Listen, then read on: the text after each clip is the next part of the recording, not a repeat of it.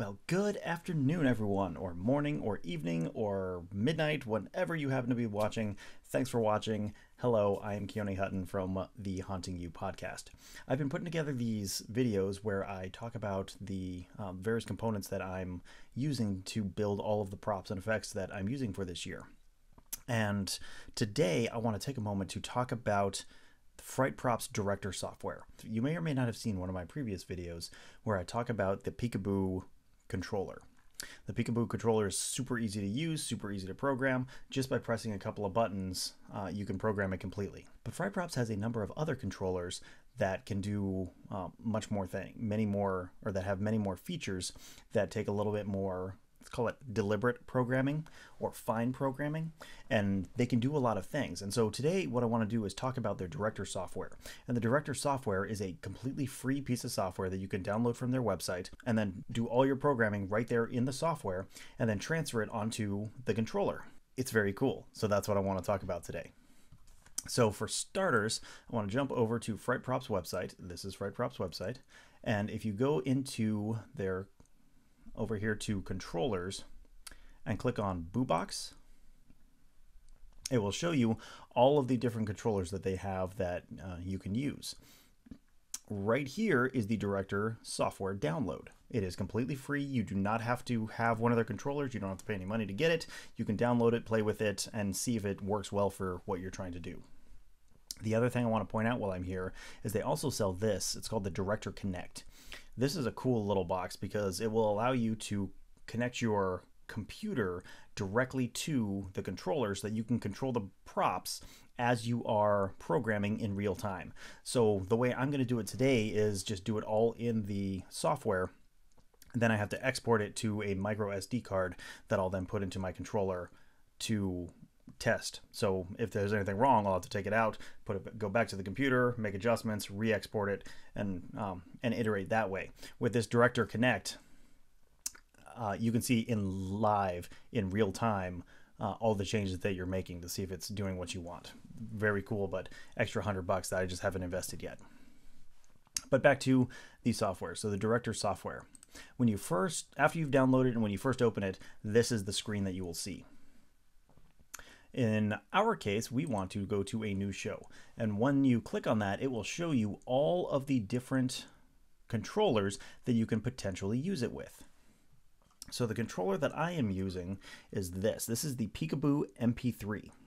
It is very similar to the Picoboo that I um, did my previous video on. You see it's got all the same buttons. I'm trying to do this backwards. It's got all the same buttons here down at the bottom and you can program it the uh, exact same way hitting the record button, pushing the button for the output that you want, and then it will save it that way.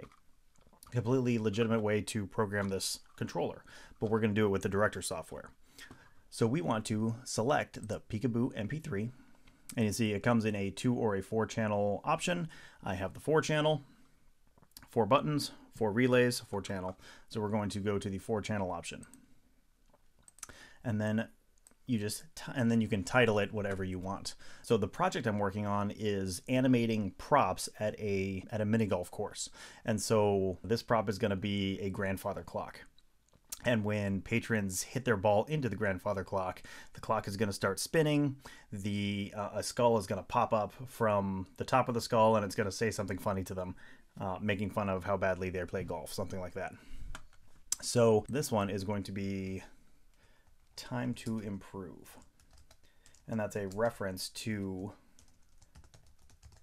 and that's a reference to the uh, the audio that uh, we'll be using with it. So Picoboo MP3, four outputs, we've named it. Now we can create the show. And it will automatically populate now with uh, what your controller can do. So it gives us our four outputs and we're ready to, to begin. To make it easier, I want to rename each of these outputs so that we know exactly what's happening. So output number one is what I'm going to use to control the clock face spinning. So that is my clock. And that's just a simple um, 12 volt DC motor. As soon as you apply power to it, it starts spinning and, and there's nothing else to it. Output number two is going to control the jaw of the talking skull. Um, this uses a servo. Anytime 12 volts is applied, the jaw opens. So anytime we want it to open, we just apply 12 volts to it and uh, and it will do it. We want it to close, we just take the 12 volts away and it will close uh, just using the spring. So this is skull, jaw. And then outputs three and four, I'm reserving for a linear actuator. This is a linear actuator. A linear actuator is like a pneumatic piston, except it's completely electronic.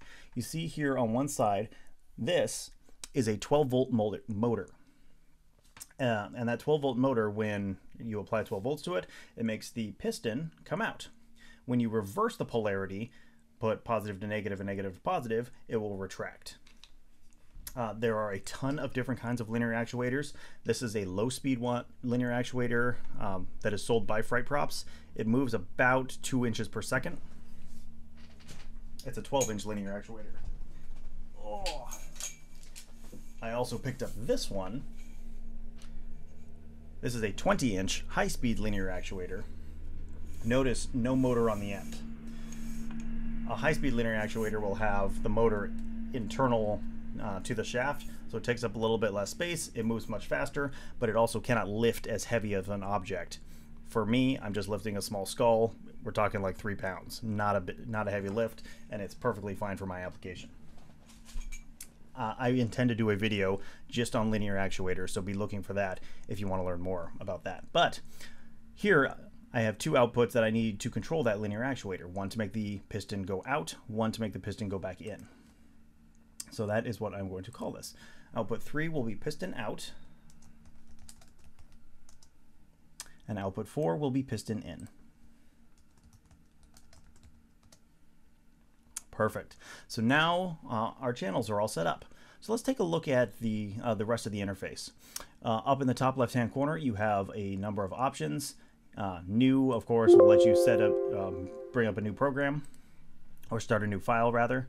Uh, and open lets you open an existing program. I'm not going to do that because we're doing here because I want to work on this one. Um, the save button, self-explanatory, and then export. Export is what you what we will use at the end once all the programming's done to send it to um, our SD card. And then uh, over to the right, we have some more tools. Uh, zoom in, zoom out lets you uh, will change how you're looking at the um, the seconds. You want to zoom in, get a more fine detail. You can do that. Uh, and then right here uh, is where I really want to focus next, sound.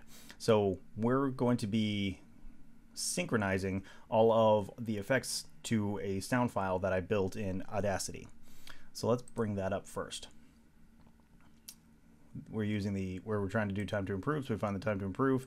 There is our file. And um, it's asking, do we want to make our scene length equal to the length of the sound? And in this case, we do, because we only want animation to be happening uh, in the sound. So yes, we do want that to be the same. And you can see that it has now automatically set uh, the scene length to the length of my sound. So let's hear what we are working with today. There's no need to cry. You have plenty of time to improve.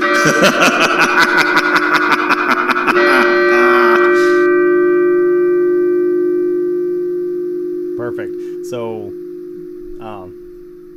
that's perfect. So the patrons hit the ball into the clock, and this is the audio that will play. The skull's going to pop up and, and make fun of them. So how do we make it do that? That is what we are trying to do today. So now I'm going to scroll in a little bit, just using the track wheel on my mouse.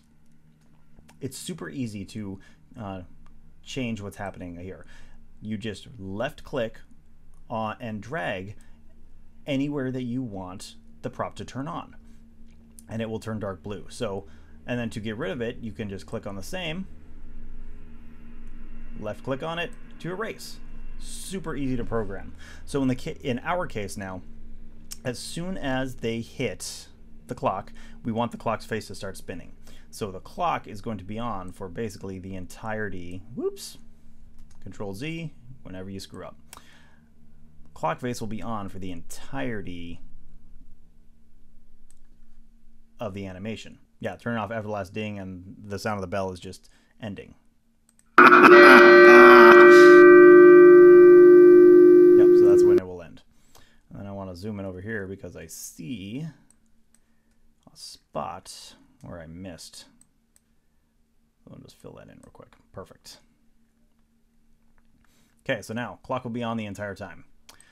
The piston, very similar. We want the piston to extend at the beginning so that everybody can see the skull before it starts talking. So in our case, that piston, that high-speed piston I showed you, well, it moves at a speed of about two inches per second. So uh, I wanted to extend 10 inches. I need it to be on for five seconds. And at very similarly for piston in, I need to bring it back in. So from 15 to 20 seconds is when uh, we want that to uh, to collapse. Okay, so now we have our clock set up, we have the piston going out, we have the piston going in.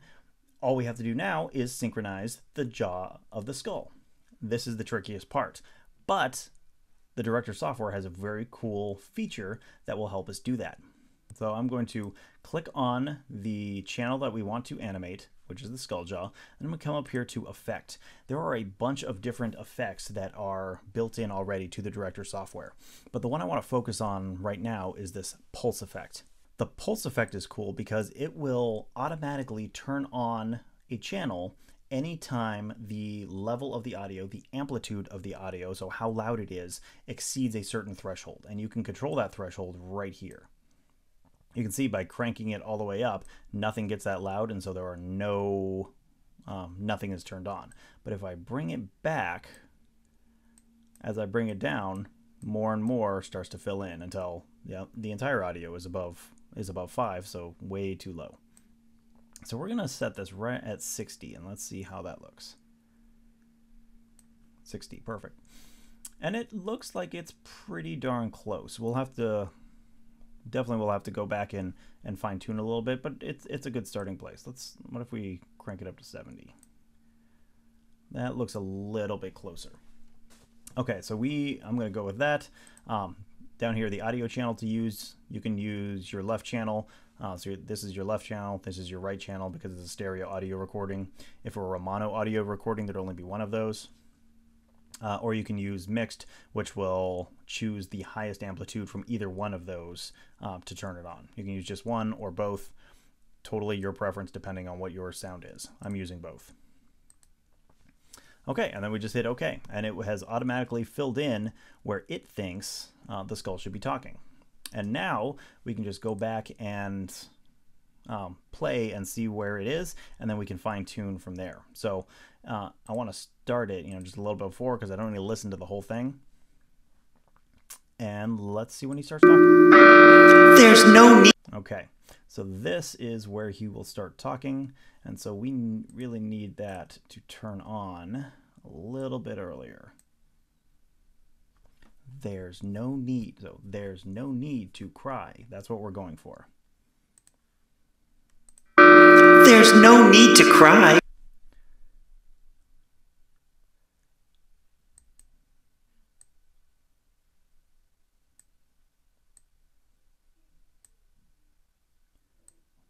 Make the cry a little bit longer. So let's see how we did.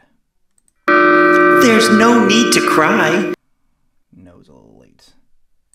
This should this is no.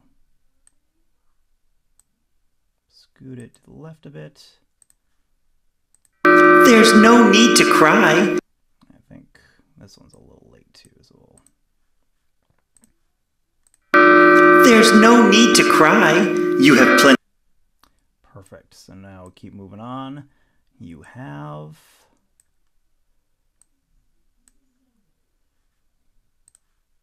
You have plenty of. and to make the jaw look realistic, we want it to be actuating on every syllable. Like watch my jaw as I'm speaking. Every syllable. It move my jaw actuates with every syllable. And so we're trying to do the same with the skull. Every syllable, we have a 12 volt pulse, and that will uh, will cause it to actuate realistically, relatively. You have plenty of.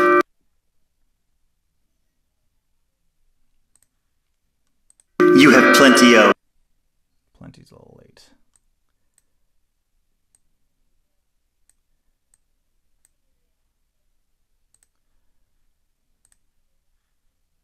You have plenty of time. Time, nice, nice and big, emphasized. because it's a clock and it's funny. Time to improve. Time to improve. I hope. Time to improve. Two's a little late. Time to improve.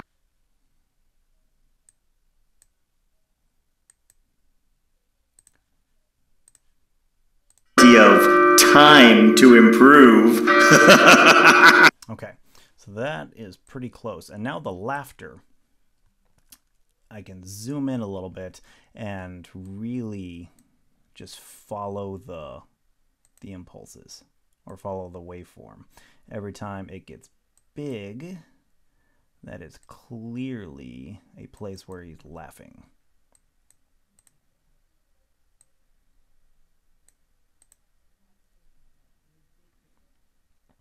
Most of those look pretty good.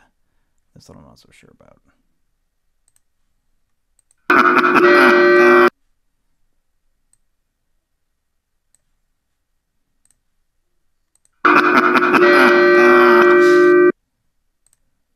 I'm not catching the bell.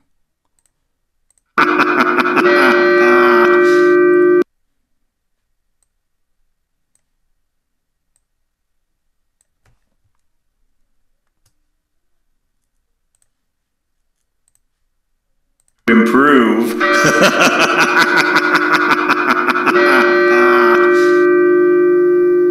then it retracts. Okay. That, I think we just about have it. So let's zoom out real quick. Take a look at the whole thing from the beginning.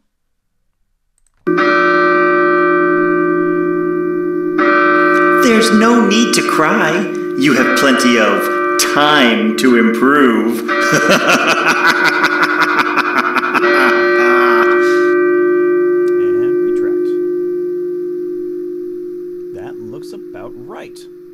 Perfect. So we'll hit stop there. First and foremost, of course, going to save it in case anything happens. And then I want to grab my micro SD card and put it into the computer. Okay, so SD card in the computer. And now we are going to export.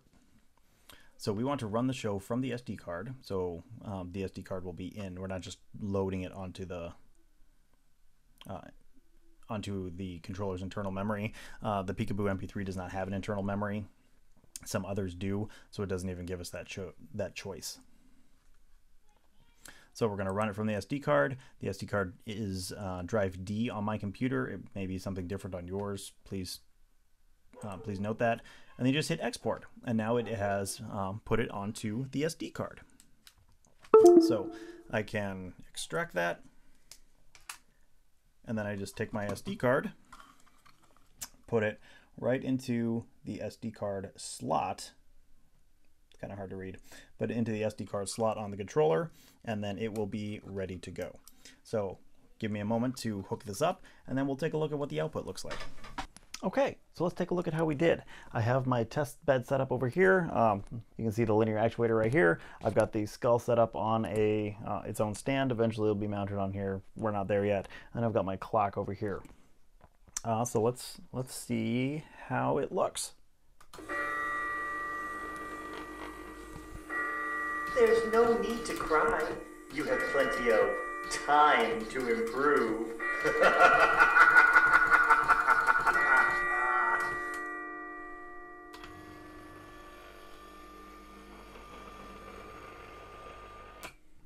Absolutely perfect. Exactly what I was hoping it would do. So that's it. It is that easy to get started with designing your own animations, exporting it, and then putting it into a Picoboo or uh, BooBox controller to, uh, to control your animations.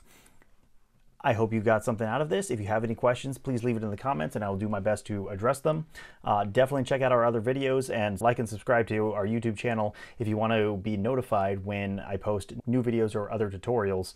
Um, as we get closer to the season, there's definitely going to be more building that's happening. Check out our home, check out our page www.hauntingu.com where you can find uh, the podcast and everything else that we do. Lots of cool stuff up on that website. Definitely go check it out. In the meantime, thank you for watching, and as always, happy haunting.